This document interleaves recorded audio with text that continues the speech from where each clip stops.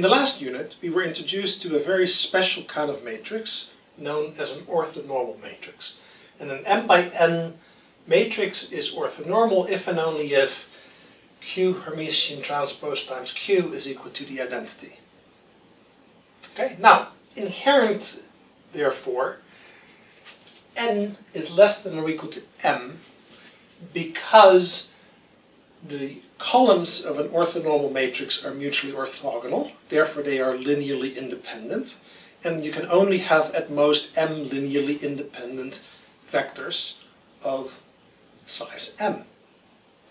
Right. Now, the case where m is equal to n turns out to be extremely important. It is so important that those matrices have their own special name. They're known as unitary matrices.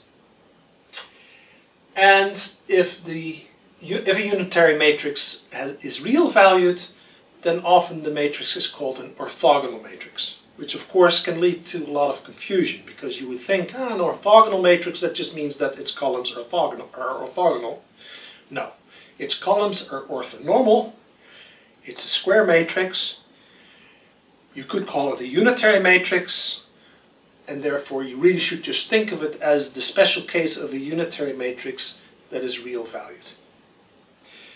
Through a sequence of homeworks, you're going to find out about some of the very special properties of unitary matrices, and in the next unit we're going to give some examples of such matrices.